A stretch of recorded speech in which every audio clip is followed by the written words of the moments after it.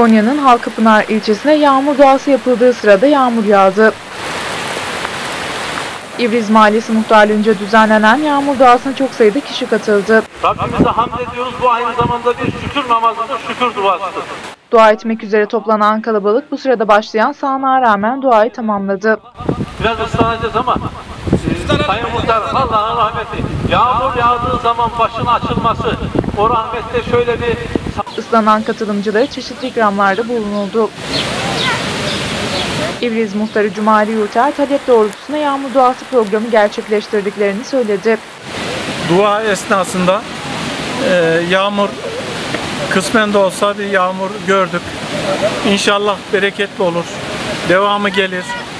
E, biz de e, tüm dualarımızı bu yönde yaptık. E, inşallah Cenab-ı Allah kabul eder.